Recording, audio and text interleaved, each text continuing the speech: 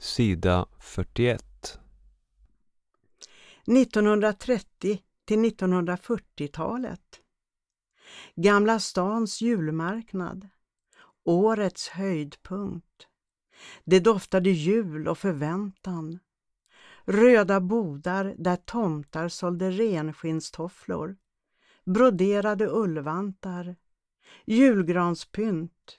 Tomtelyktor och julgranar. Penningstarka och som vi barn trodde, dåliga karar köpte ett glas glögg. Rödrandiga polkagrisklubbor, ögongodis för de flesta. Inga barn hade egna pengar. Men det mest åtråvärda, det man aldrig någonsin kunde få smaka, var den sommarmolnsliknande, änglafluffiga sockervadden i pappersstrutar. För ofattbara 25 öre. En önskedröm. En omöjlighet.